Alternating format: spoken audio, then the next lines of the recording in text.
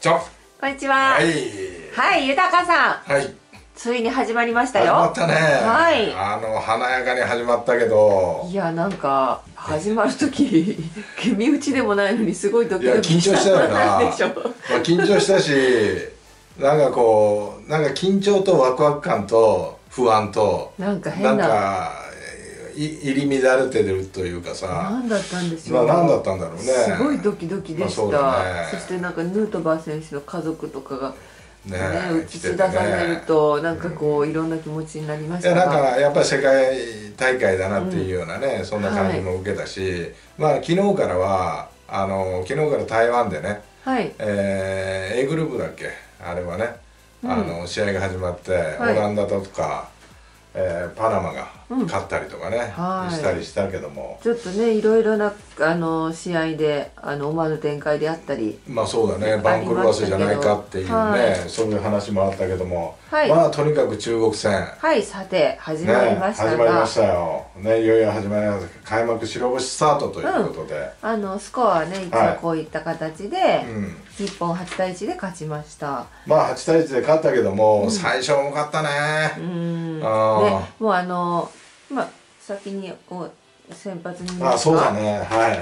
それを見るとそう。でみんなあのどうなるんだろうと。そう待ちに待った大谷投手。っうん投手。ていうことで。まあ DH, がなしでね、はい。えということでそういったことでもこう皆さんえまあ注目だよね。注目をしていて、はいはいいざ始まりましたが、うん。先ほど豊さんが言った、うん。ちょっと重い流れの試合運びで走りまましたが、あそうだね、うん。でまああのーこの動画でもいろいろ言ってたんだけど、はい。一番最後の打順の流れが良かったんで、まあ、そのまま行くんじゃないかっていう大方の予想だったんだけどもね、まあ、村上を4番に戻し、はい。吉田を一つ下げたという。はい。だから1番から5番まで左が並ぶというね、うん。まあそういうことで、まあ、岡本、えーセカンド、はい牧を使ってきたそうねでしたね。はいはでまあこれ予想された源田と甲斐というい。いうようなことだったんだけどもねはい。はいということで、まあ、試合が始まりましたはい。ね試合始まりましたけども最初重かったはい。ねまああの押し出しで1点取って、うん。まあ、岡本がタッチアップできるかなっていうような感じのフライを打ち上げたんだけど、まあ、近藤のがねサードランナーで走って、うん本塁アウトになったりとか、はまあ、いろいろしながら、うんまあ、大谷が点をやらずい。はい。で4回に、はい。まあ、大谷のタイムリーがね、うん。まあ、出たとでこれはあの解説するけども後でね、うんまあ、素晴らしいフェンス直撃のはい。打席のね。打席のね解解説をします。はいで6回はい。あのー向こうの1番バッター東海大菅生うでやってた劉梅選手ホームランという戸郷からん。ね。いやびっくりしたけどねそう。そうなんですよね。戸郷投手もね、うん立ち立ち上がりというか、ね、いやすごいかったから。三振から始まってさ、はこれはいいぞと思ってたんだけどもねいきなりちょっと。そうそうそうでまあちょっと劣勢にはなるんだよねちょっと流れが変わっちゃってね、うんうんでまあ牧のホームラン、まあ、最後は、まあ、打線がやっとつながったというようなね、はい。いろいろね、8回はなんやかんやありましたね。あなんやかんやあった。ありました。だからまあ良かったなというふうに思うけども、はい。さて。さて、い。つものように、いつものようにねちょっと見ていきたいと思いますが。はい。はい。はい、ということで、はい。今日も投手と、まあ、その他の部分で分かれましたが、うん。ちょっと今日はあの投手以外の部分のピックアップまあちょっと多くなるよねめなので、もちろんね。ちょっとレイアウトが変な感じではいはい。見にくいかもしれないんですけれども、はい、はい、まず大谷。はい、ねあのー、球も160キロ。まあでもねまだ調整段階だねうん。彼は、まあ、実戦登板今日が最初というまあそうだね。日本に来てね。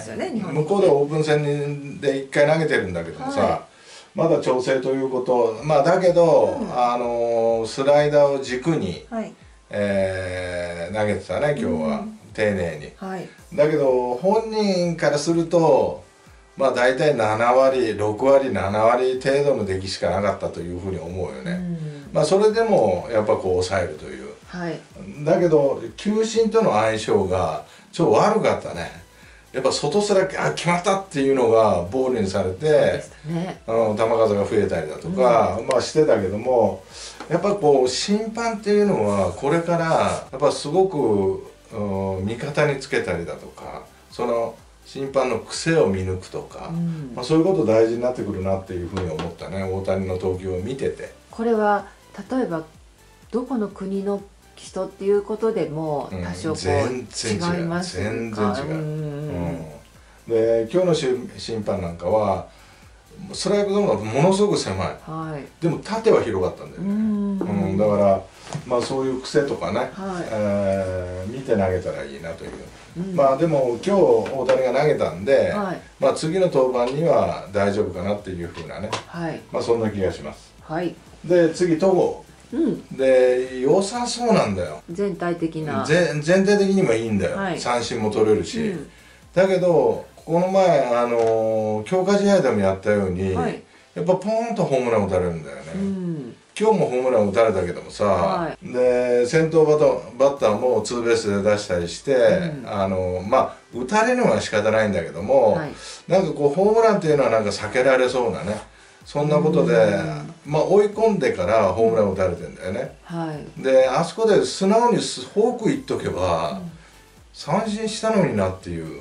なんか日本の悪い癖で裏をかいてやろうとか、うん。そういう配球の悪いところが出ちゃったかなという、うん。まあ、素直にフォークは打てないんだと思ってフォーク投げとけばあのホームランはなかったと思うんだけどもね、うんだから良さそうなんだけど組み立てに工夫がちょっと必要かなっていうね、んえー感じがします。で湯浅。はい。完璧。うん。でね湯浅はまあ大谷戸郷っていうのはどちらかというとスリークォーターで投げるんだよね、はい。で湯浅っていうのは真上から投げてくるんだよ、あはい。で今日の審判はやっぱ高低高めには甘かったんだすごく、うん。うん、だからあのもう本当完璧だったね、うん。うん、もう手も足も出なかったというような投球を見せてくれたということ、で伊藤はい。これもやっぱりイニングイニングの頭から使われるんだけども、やっぱマックスで入ってくれるんだよ。うん。自分の力100%で入ってきてくれる、うん。だからすごく見てて安心感があるね伊藤はね。はい。うん。この湯浅投手伊藤投手はもうずっとこの強化試合の時から良かったまあよかったね。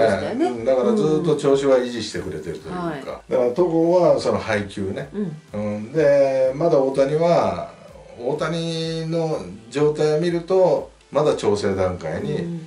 まああるという。まあ。だから徐々に上げてってくれればいいかなという感じがするよね。はい。でもあのー試合始まってから重い雰囲気の中、やっぱこう大谷がやっぱこう我慢してくれるというか、うん。まあ、圧倒してくれるというか、はい。だから安心感を与えてくれてたよね。う、ん。でも点が取れないからストレスが溜まってくるという、まあ、そんな感じがしました。はい。はい、ということで、えー、豊かのピックアップ、はい。えーヌートバはいまずこのブルーの方はが良かったこと良かったですかねことね。はい。ーヌートバー初球ヒットから先制という、うん。あのーやっぱね硬い。はい。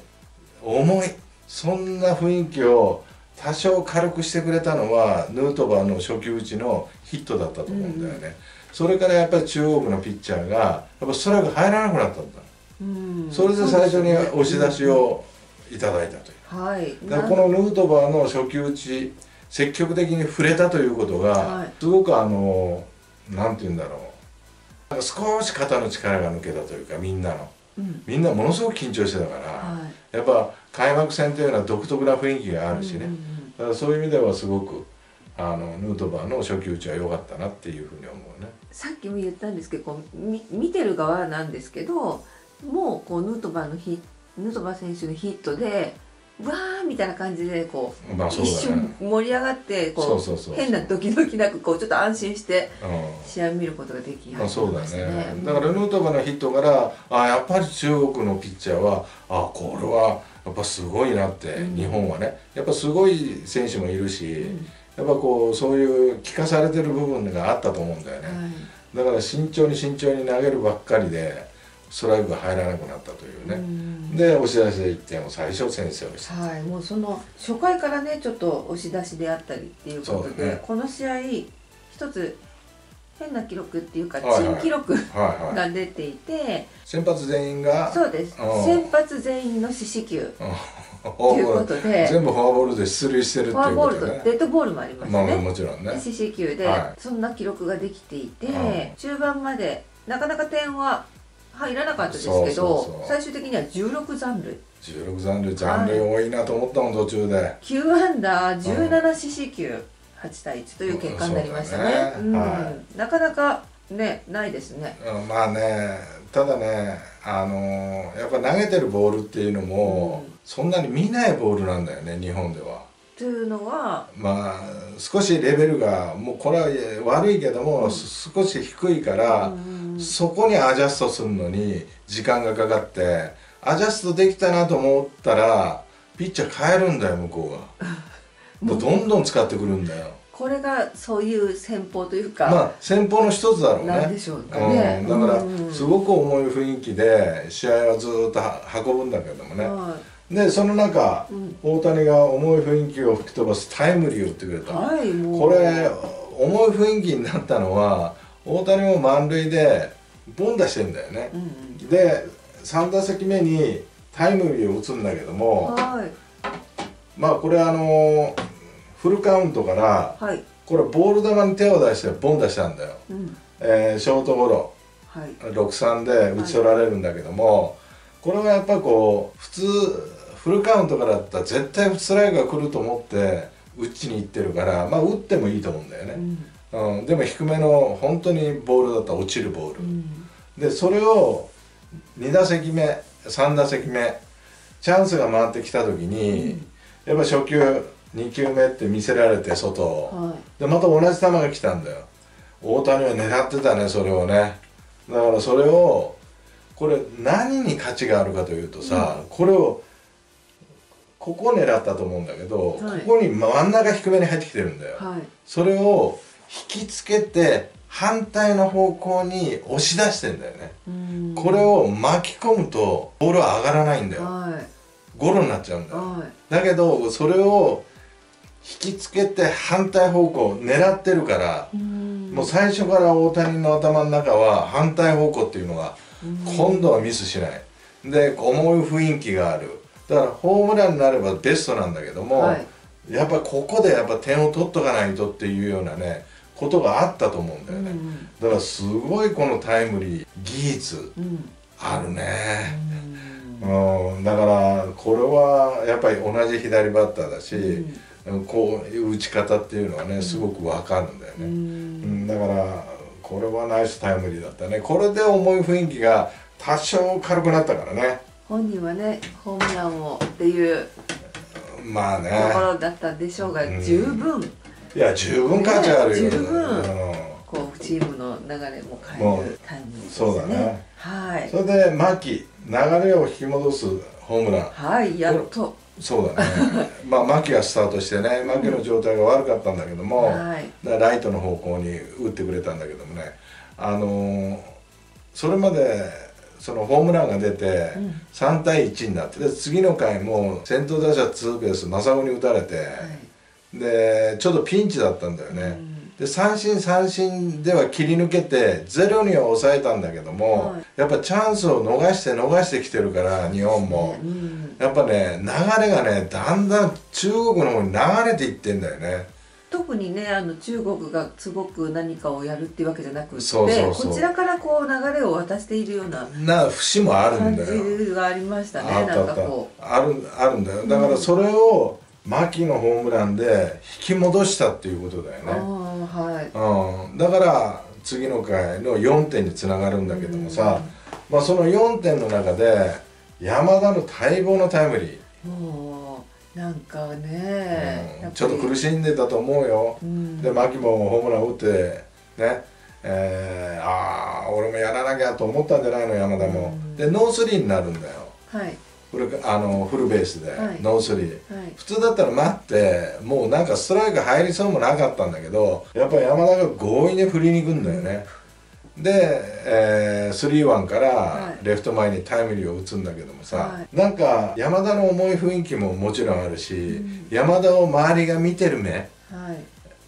あ苦しんでるなとかだからそういうそういう山田が打ったということがなんかみんなの気持ちを明るくしたというか、うん。そういうタイムリーだったよね。うん。うもん、う塁上でね山田選手の表情を見てると、まあなんかほっとしてるのがうんちょっと分かりましたし、で山田はやっぱりね国際試合に強いっていうのは、うん。やっぱいろんなボールでも対応できるわ山田は、うんやっぱ器用だわこの山田っていう選手はね。さっきも言ってた。改めて。うん、あんまりみ普段はね対対戦することのないタイプのピッチャーがうん。多い中ということですかそうそうそうそう。で、えーヌートバー源田のファインプレー。はい。ね、大谷が投げてる時に、まあ、スライダーを先っぽで打たれてあセンター前かなと思うところをヌートバーがスライディングキャッチをしてくれた、うん。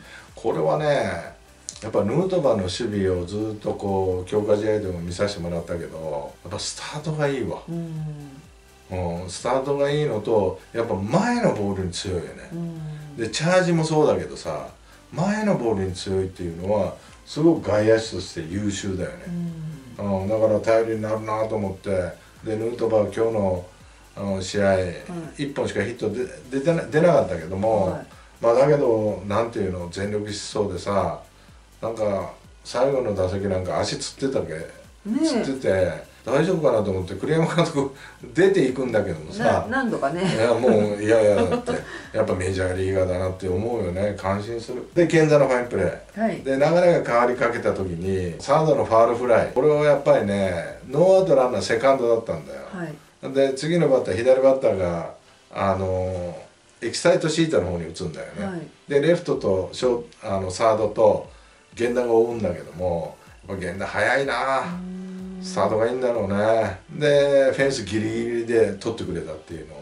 これもやっぱ大きかったと思うんだよね、あれで引っ張られて外野フライで1点というケースだったからワンアウトをファールフライで取れたっていうのはまあ源田のファインプレー。やっぱ源ちゃんうまいなね。あのゴロさばくっていうのはさ当たり前にさばくけど、はい。まあ一つ一つに技術を見せてくれるプレーだよね源田はね。やっぱりこうねはい。源田選手のところに飛んでいくと、うんあちょっと難しそうと思ってもなんかこうちゃんとアウトにしてくれるのでまあそうだね。安心して見てられはますよね。い、でバットはい、ね。赤文字はい。3つありますが、で2回に源田が内野安打で出るんだけど、はい。牽制士というね、これはね多分セーフだと思うよ。でリクエスト使わなかったんだよね、はこれなんで栗山監督リクエスト使わなかったのかっていうのはちょっと疑問なんだけどい、も、はい、なんでなんでしょうね。なんでだろうね。早い段階だったまあ早い段階でうもう本当にね俺はセーフに見えたんだよ、うん。えなんであれがアウトなの？ただやっぱりあのー各国の審判が来てるから、はやっぱ際どくあって思うやつはアウトにされるかもね。い、でもまあリクエストがあるからあれリクエストを使ってたら多分セーフなんだけども、うん。使わなかったら使わなかったから牽制士にはなったけどもね、はい。はい、で今度タッチアップの本塁士、はい、ちょっと先ほどね少し触れまうん、したが、まあ初回。うん。ね。まだ満塁なお満塁、えーワンアウト満塁。はい。それで岡本がライトに打ったんだよね、うんフライを打ち上げた最初なんかスタートするのかしないのかってちょっと半信半疑で切ったような感じなんだよ、うん。絶対切るっていう意思はあんまり感じられなかったんだよね。で走ってみてアウトになったと。え？みたいな。ちょっと一瞬間があったんだけど俺の中ではね。あれはやっぱ走るんだったら走る。止まるんだったら止まる。やっぱはっきりした方がいいね。迷ったらやめた方がいいよ。これは走者の判断走者の判断とやっぱさあれだけのフライが打ち上がったとしたら、やっぱサードコーチはもう声かける時間があるんだよね「うん。行け!」とかうん「やめろ!」とか、うん。だからそこら辺もやっぱはっきりしてなかったんじゃないかなと思う、うん。まあ確かに難しい。うん。で中国のチームっていうのはデータがあんまりないんだよ。だからこの選手が肩が強いとかあんまりデータがインプットされてないままないまま多分走ってるんだよね。だからそういう意味ではちょっとあの初回の立ち上がりピッチャーが苦しんでる時それを考えるとちょっといただけないね、うん。はい、ちょっと心配なのが村上吉田岡本ヒットと、うん。で今日、まあ、8点取った中で、まあ、フォアボールとかはもちろん取ってるんだけどもね、はい。デッドボールと。まあだけどちょっとタイミングが合ってなかったね。うん、やっぱこれは先ほどから言っているチピッチャーとの相性というか、まあチェンジアップでもさこんな大きく落ちるようなチェンジアップ投げてくるんだよね、うん。だからちょっと違うんだよ。で130キロ台で組み立ててくるんだよね。うん。でも大体日本の野球メジャーの野球って言ったらスライダーが130キロ台なんだよ、うんそうですようん。ね、だからその以下で組み立てられるとやっぱちょっと最初のうち面食らうね、うん。遅いから打てるだ打てるとは限らないから、うん。遅くてもそれなりの対応していかないと無理だからね、はうん、あとはね今日気が付いたのはやっぱ審判だな。審判の癖を早く、うん、見つけるということ。いもうこれは試合ごとで違うからそうだね。早めにっていうことでうん。試合の中で気づいていくしかないというそうだことですかね。もちろんスタートしないとわからないと思うんだけども、あのまあ、外に広い審判がいたりだとか、今日なんか、まあ、海がこうやって高め見逃したらストライクって三振になってたけど、はやっぱそういうこともあるしね。だからやっぱ審判の癖を早く見つけるということ、うん。まあ、そういうこともなんかすごく必要なことだなっていうふうには感じたね。国際試合ならいではやそうそうそうそう。そうだから今までその日本の審判で強化試合とかやってたから、うん。やっぱきっちり取ってくれてたんだよね、はい。そうじゃなくてなんかすごくアバウトさを感じたし、うん。なんかこういやこんなボールはボールだよみたいな、うん。決めつけてかかってる。まあ審判の方もなんかいらっしゃるみたいだし、はまあ、他のねグループが違うし試合もちょっと覗いたけども、だけどやっぱ審判でえ？っていうのも、うん。やっぱバッターたちもそういう表情を浮かべてたしだから早くやっぱこう審判の癖を見抜くっていうことも大事かなと思いました。はい、ね、でもすごく硬かったな。重かったな。どうなるかなと思って。試合終盤でねちょっと、いい感じになっていきましたかね、まあ牧のホームランで、はい。あこれは良かったと思ったけども、うん。それまではなかなか万が一ってあるからねやっぱりね、いきなりホームランを打つ人もいるわけだから、はい。だからそういう意味では、まあ明日以降もね、うん。まあ、油断することはないにしても、はい。あの頑張ってほしいなという、はい。ね、慎重に頑張ってほしいなというふうにはい思います、明日はダルビッシュということでね。そうですね。韓国戦、そうだね、はい、このダルビッシュ投手ももうお待たせしましたという感じまあそうだですかね。ねまあいい調整はしてるとは思うけども、はい。やっぱこう試合感っていうかね、うんうん。やっぱどんなに優秀なピッチャーでもそういうのは早く掴んで、えー流れを掴んでほしいなっていうふうに思うね、これもまた楽しみです。まあ楽しみだね。はい。はい、はい。期待してますよ。はい。はい